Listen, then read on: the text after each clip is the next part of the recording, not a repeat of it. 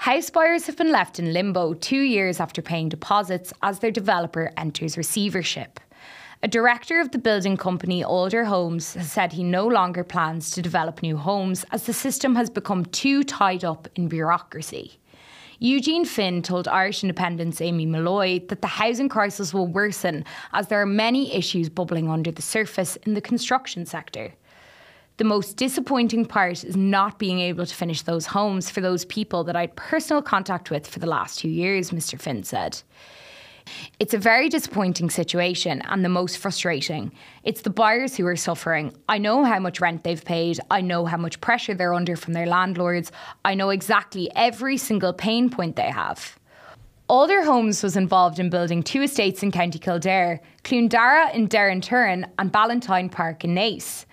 The latter is nearly completed.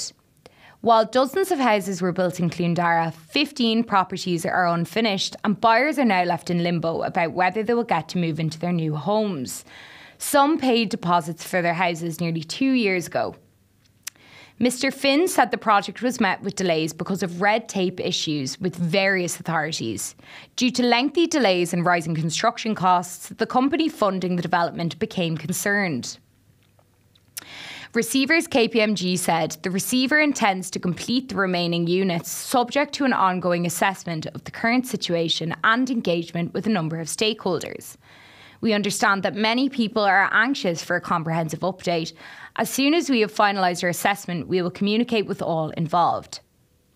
Some of the properties were to be used for social housing, others have yet to be sold. You can find more on this story on the Irish Independent.